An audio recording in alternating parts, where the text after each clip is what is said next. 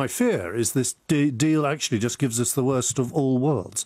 No guarantee of smooth trade in the future, and no ability to reduce the tariffs that we need to conclude uh, uh, trade deals with the rest of the world. So, unless the Commons, I think, can be persuaded somehow that those things are possible, yes, then I think the deal is doomed.